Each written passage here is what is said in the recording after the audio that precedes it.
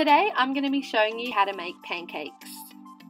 First of all, you will need a measuring jug.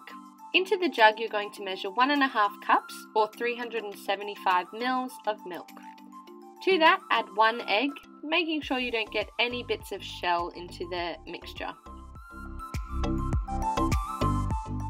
Then you're going to use a measuring teaspoon to measure 2 teaspoons of vanilla extract or vanilla essence into the milk.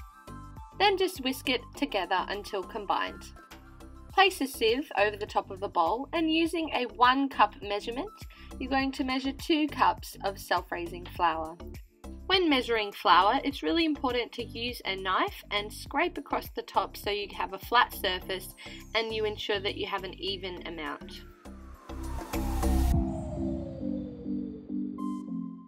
Then I'm just going to measure a quarter teaspoon of bicarb soda and I'm going to sieve that into the bowl.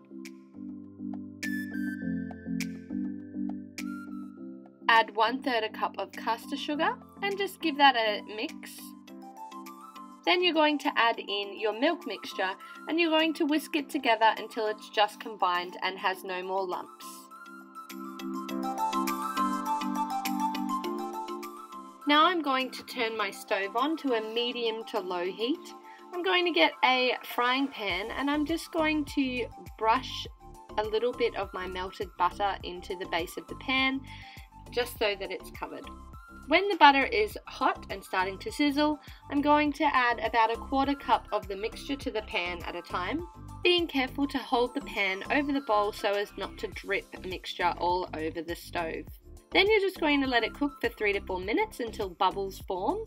And then using a spatula, just check to see that the underside is brown and shaking the spatula from side to side underneath, you should be able to flip it. And don't worry, it does take practice to get this right. After your pancakes are cooked, transfer to a plate and keep warm with a cloth or some foil. Serve your pancakes with your choice of toppings.